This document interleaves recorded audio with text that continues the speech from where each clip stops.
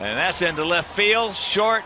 Alexei going back, saying, I got it, he does, and this ball game is over. So Addison Reed comes on, nails it down. One, two, three.